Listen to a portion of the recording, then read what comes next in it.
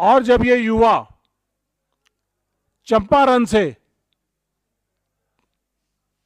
बिहार चंपारण, जो कि गांधी जी के सत्याग्रह की भूमि है, वहाँ से चलकर जब ये दिल्ली पहुँचे, हमें भी मालूम चला कि 1100 किलोमीटर लंबी यात्रा करके ये बच्चे वहाँ से पहुँचे हैं, जो पिछले दो साल से गुहार लगा रहे हैं कि हमें ज्वाइनिंग दी जाए।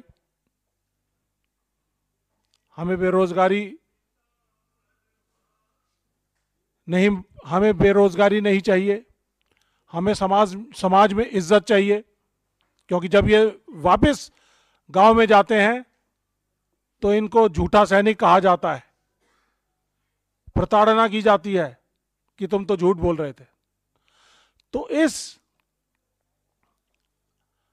शर्म से ये लोग तकलीफ़ खाकर सरकार से गुहार लगाते लगाते थक गए तो इन्होंने चंपारण से 1100 किलोमीटर की यात्रा शुरू की, पैदल यात्रा। सलाम करते हैं इनकी यात्रा को, इनके जज्बे को कि ये सरकार के साथ लोहा ले रहे हैं, लड़ाई लड़ रहे हैं। हमें जब मालूम चला हमारे नेता को जननायक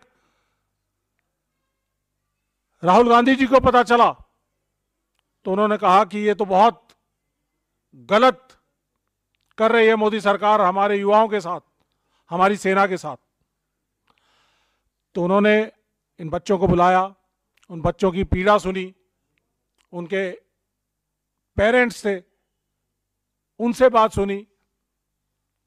मालूम चला चौसठ बच्चे जो भर्ती हो चुके थे, सेना में ज्वाइनिंग लेटर का इंतज़ार कर रहे थे और सरकार से गुहार लगा लगा कर परेशान हो गए थे और देश सेवा के सपने को टूटने से दुखी थे, आहत थे तो चौसठ बच्चों ने इस दौरान सुसाइड किए। इन चौसठ बच्चों के सुसाइड का जिम्मेदार कौन? सवाल पूछते हैं मोदी सरकार से कि क्या ऐसी मजबूरी थी कि आपने अग्निपथ स्कीम लागू की जब अग्निपथ स्कीम आप लागू कर रहे थे, इन बच्चों को उसके अंदर समायोजित करना चाहिए था, लेकिन नहीं किया।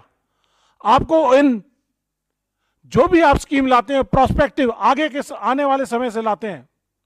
पायलट प्रोजेक्ट करके लाते हैं। ना आपने पायलट प्रोजेक्ट किया। देश की सेना को धोखा दिया। देश के युवाओं को धोखा दिया। देश की सेना को इसलिए धोखा दिया कि उनको मालूम ही नहीं था कि किस तरह से अग्निवीर या अग्निपथ स्कीम आ रही है और मैच चार साल के लिए उनको देश के सैनिक बनाया जाएगा और उसके बाद उनको बेरोजगार कर दिया जाएगा।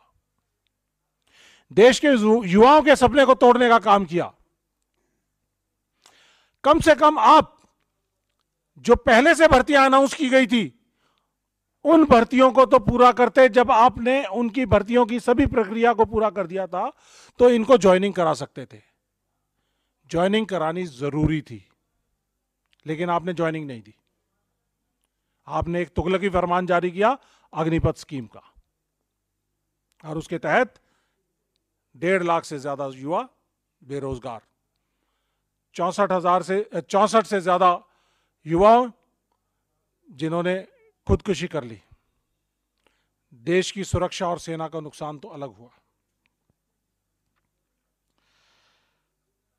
हमने एक आरटीआई के ज़रिए सरकार से डेटा मांगा कि 2022 में कितने लोगों ने भर्तियाँ देखी और 2023 में कितने लोगों ने भर्तियाँ देखी।